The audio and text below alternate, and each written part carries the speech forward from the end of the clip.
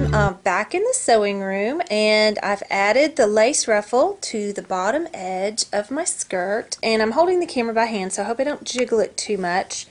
I'm going to show you a little bit of what I've done. I've got the skirt, well half of the skirt laid out on my big table here and as you can see that's the center where all the pretty embroidery is. I'm going to get up over this.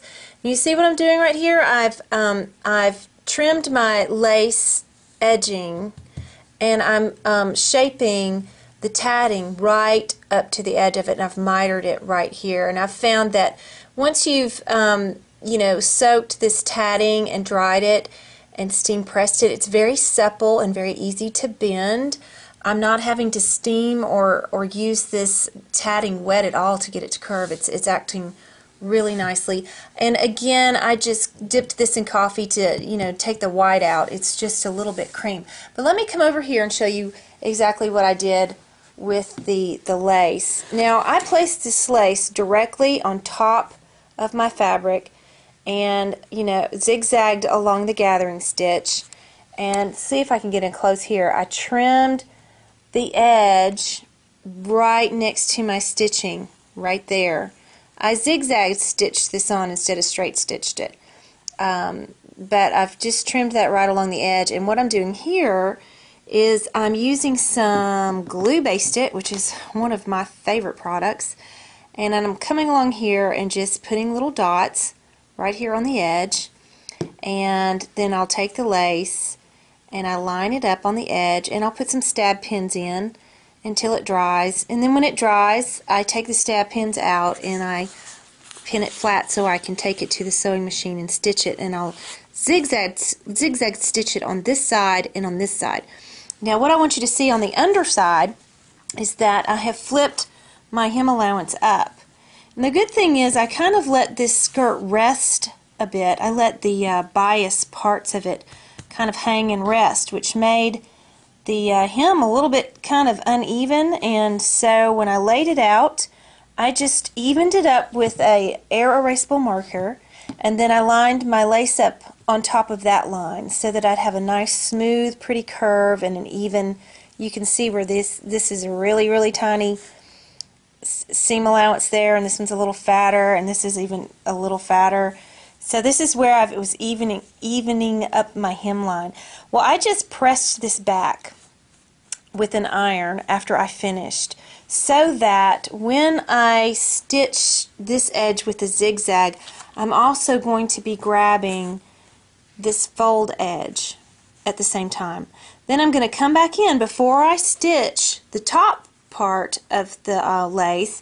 I'm going to come back in and trim this seam allowance right next to the zigzag stitching of the first pass on the bottom edge here.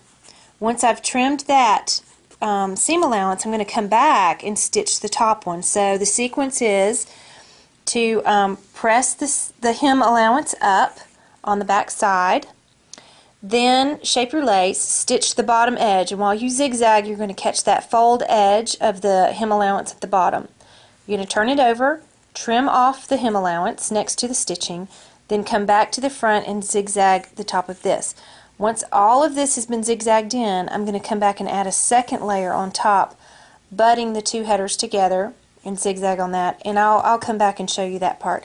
For now, we're putting in our first row of tatting on the hem.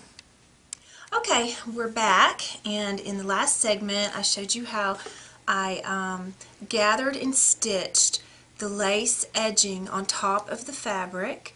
Then I covered the little, um, I cut the, the seam edge close to the stitching on the um, lace edging and then I folded the seam allowance back.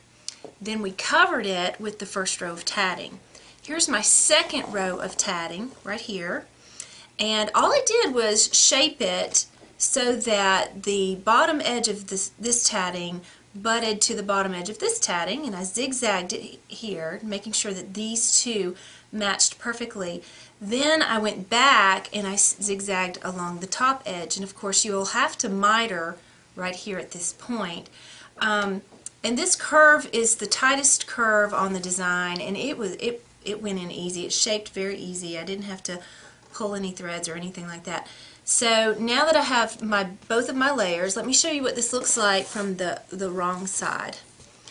Now before, remember I told you that we flipped our seam allowance back and it was all different lengths. I had narrow and wide um, pieces of seam allowance along here and then once we zigzagged the first row of tatting on we caught that fold edge then we came back and we cut right next to that zigzag stitch which holds that um, seam allowance back and it also um, finishes the edge so you wouldn't have any raveling and you'll see the zigzag stitching from the back side it's a little messy but it, it serves a good purpose to finish the front of the the skirt and we don't have to have a lining layer. So that's kind of what it's going to look like from the back side and this is what it will look like from the front side. So in the next segment I'm going to, um, we're going to put the skirt onto the bodice and I'm going to show you the final dress, Madelyn dress up on the body form and show you a bit about the hand-picked zipper that I put in the back.